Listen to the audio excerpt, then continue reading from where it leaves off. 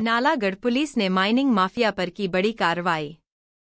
Police में झिड़ीवाला से पकड़े एक जेसीबी मशीन व दो टिप्पर पर।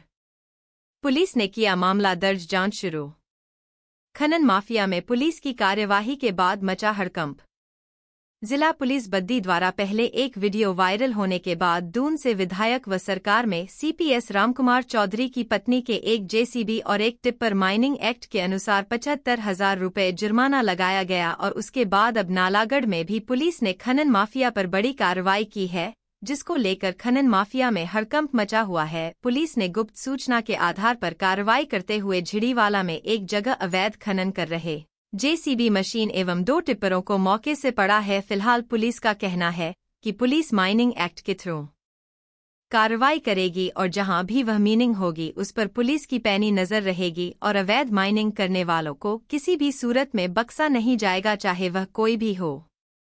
इस बारे में मीडिया से बातचीत करते हुए थाना प्रभारी नालागढ़ राकेश रॉय ने बताया कि एसपी बद्दी के नेतृत्व में पुलिस ने सुबह सुबह झिड़ीवाला में रेड मारकर वहाँ पर अवैध खनन कर रहे एक जेसीबी मशीन और दो टिप्परों को मौके से पकड़ा है। उन्होंने कहा कि पुलिस माइनिंग एक्ट के माध्यम से आगामी कार्रवाई करेगी।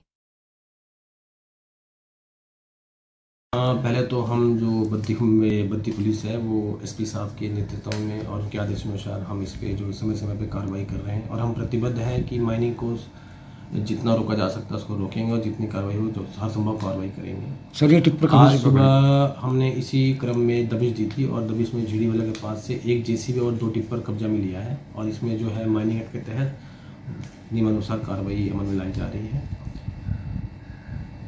हाँ पहले तो हम जो बद्दी में बद्दी पुलिस है वो एसपी साहब के नेतृत्व में और उनके आदेश अनुसार हम इस पर जो समय समय पे कार्रवाई कर रहे हैं। और हम प्रतिबद्ध हैं कि माइनिंग को जितना रोका जा सकता है उसको रोकेंगे और जितनी कार्रवाई हो तो हर संभव कार्रवाई करेंगे। सर ये आज सुबह हमने इसी क्रम में दबिश दी थी और दबिश में झीड़ी वाला के पास से एक जेसीबी और दो टिप्पर कब्जा में लिया है और इसमें जो है माइनिंग एक्ट के तहत नियमानुसार कार्रवाई अमल में लाई जा रही है।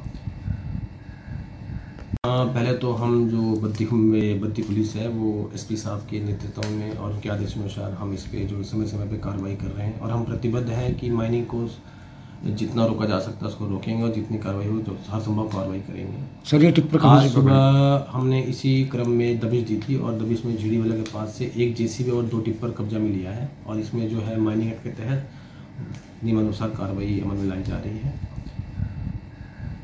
हाँ पहले तो हम जो बद्दी में बद्दी पुलिस है वो एसपी साहब के नेतृत्व में और उनके आदेश अनुसार हम इस पर जो समय समय पे कार्रवाई कर रहे हैं। और हम प्रतिबद्ध हैं कि माइनिंग को जितना रोका जा सकता है उसको रोकेंगे और जितनी कार्रवाई हो तो हर संभव कार्रवाई करेंगे। सर ये टिप्पर आज सुबह हमने इसी क्रम में दबिश दी थी और दबिश में झीड़ी वाला के पास से एक जेसीबी और दो टिप्पर कब्जा में लिया है और इसमें जो है माइनिंग एक्ट